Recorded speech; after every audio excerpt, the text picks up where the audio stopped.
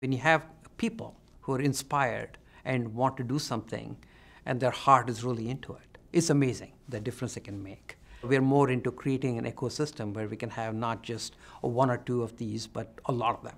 And you really need a lot of them because it's not a problem that you can solve, but just having one mega entrepreneur, you need thousands of people who are all thinking about it and getting excited.